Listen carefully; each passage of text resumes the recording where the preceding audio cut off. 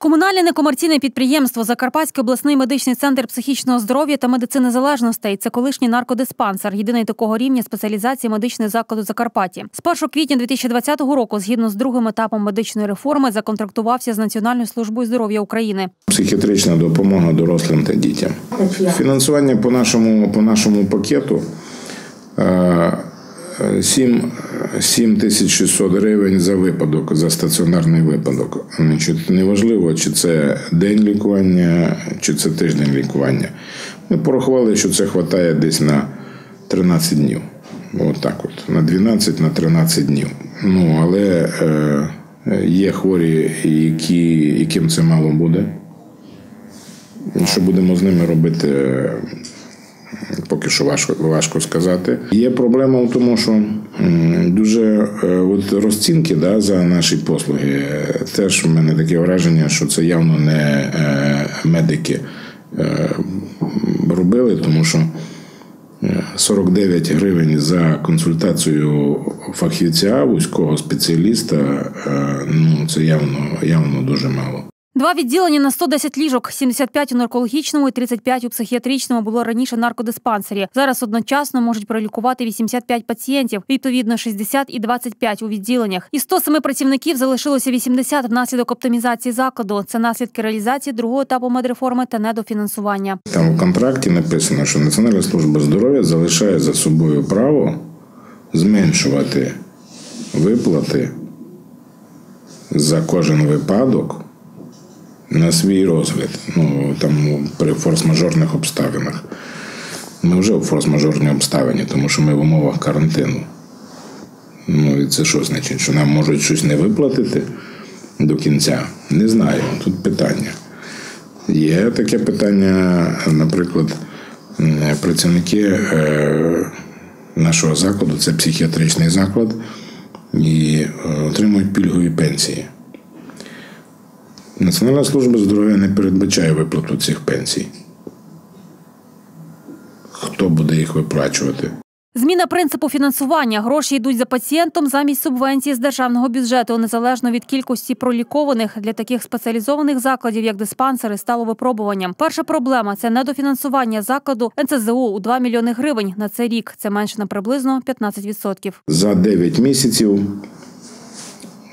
значить, з квітня по грудень 8 мільйонів 700 тисяч. Для такого закладу, де мільйон е, значить, там місячний е, бюджет, це за 200 тисяч це суттєво, це відчутно, бо їх треба заробити. Ну, подивимося, як буде е, з того, що обіцяно, да, фінансування. Як воно буде, е, чи, чи буде, чи будуть вчасно виплачувати. Вона Не може е, фінансуватися по такому принципу, тому що е, у нас рахується, що хороша робота, коли е, поставлена хороша профілактика. Ну не зовсім це хорошо, тому що ну, такі лікарні, як е, наша наркологічна, психіатрична, е, інфекційна, протитуберкульозна, не може е, фінансуватися по такому принципу. Тому що е, нас рахується, що хороша робота, коли е, поставлена хороша профілактика. І не може бути, не може залежати е, фінансування від кількості тих пацієнтів, які прийдуть. Тому що, значить, якщо приходять до нас пацієнти, значить профілактична робота погана. Виділених коштів вистачить лише на медикаменти, харчування та зарплату персоналу завдяки запасам. Тож будуть економити і активно запроваджувати платні послуги, аби вижити. Огляди на стан сп'яніння.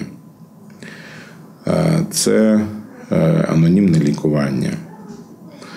Е, Це різні профогляди, які наш заклад проводить за договорами з іншими організаціями. Будемо бачити, як, е, як воно буде.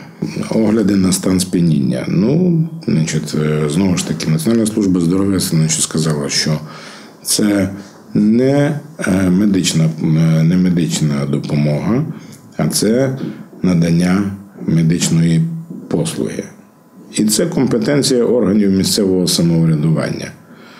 Ну, поки що питання розглядається, але ще ніхто нічого не, не платить. Місяць вже пройшов. але за ем, заклад надає таку послугу, але ніхто це не оплачував.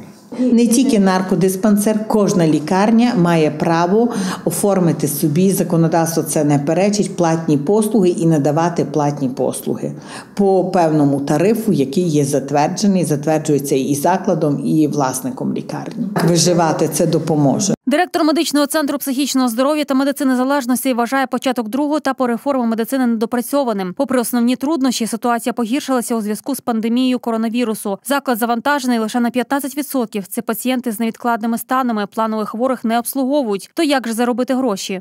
Дуже багато є питань е, щодо функціонування закладів охорони здоров'я, які отримали е, недостатню суму коштів е, після контрактування.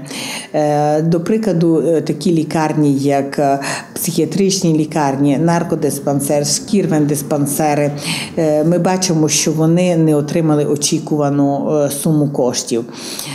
Ну, Діяльність їхня наразі деяких дійсно є дуже проблематичною. До прикладу, пацієнти та працівники обласної психіатричної лікарні, що у Вільшанах на Хущині, взагалі можуть опинитись на вулиці. Причина банальна на їх утримання виділили всього 14% від потреби. Куди подінуться понад сотня хворих, переважно більшість яких не має документів і навіть рідних. Без паспорту ми не можемо нічого. Ми не можемо.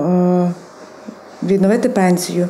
Ми не можемо зібрати пакет е, документів для отримання путівки у психоневрологічний інтернат. Перш за все, у нас вимагають паспорт цього пацієнта. Багатьох їх привезли ургентно, швидкою, без родичів, без нікого. Або вони самі поприходили сюди до нас без документів, без нічого. І нам дуже боляче, що зараз така склалася така ситуація, що ми змушені оптимізувати заклад, що ми змушені ем, вивільняти людей. Ми змушені відмовляти пацієнтам. Якби у нас реформи робилися так, як треба, то саме ця лікарня мала стати взірцем для інших лікарень. З неї мали би брати приклади. По ідеї, е, туди би мали направити гроші. Внаслідок реалізації медичної реформи у селі Довге закривають два протитуберкульозні заклади: протитуберкульозне відділення Ішавської районної лікарні. Тут диспансер закрили ще 1 січня, а хворих доправили в Ужгород та обласний клінічний фтизіопульмонологічний лікувально-діагностичний центр Закарпатської обласної ради до слова єдиний в Закарпатті. Одну туберкульозну закрили, санаторію закрили, все позакривали. То вмирати, то взагалі я не розумію. Ми проти. Нікого не мав одного діда, 72 роки. За щося лікувати, то ще хвилин так лікують, а то пензії 100, тисяч 500 рублів, то пензія. Але а на таблетки, на таблетки мало. Уже два роки лікуюсь тут. І скажу чесно, якщо тут закриють, куди нам іти всі? Най нам скажуть, куди? Ужгород, Мукачево чи Межгір'я, куди нам йти? А що другі люди не будуть мати, куди їздити лічитися? Китнеся больниця, ми що будемо робити? Куди ми ся лічити підемо? А де не гано на ноги ходити, а вганяв мені з малиці, бо я запирав, я десь лічити. Яка ж доля спеціалізованих закладів краю наразі невідомо. Фактом залишається, що самотужки не виживуть та фінансових проблем без допомоги не вирішать. Звичайно, коли не є грошей на зарплату, на отримання хворих і так далі, то вимушеною мірою є скорочення цих закладів. На сьогоднішній день ми несемо дуже велике навантаження соціальне да, по соціальним особам, по соціальним програмам. Дійсно, якщо забрати цю складову і залишити тільки лікування, лікувально-діагностичну роботу, то можливо воно би трохи ситуацію змінило. Але в державі, де працює, де не працює ефективна економіка, е, звичайно, цього робити зараз не можна.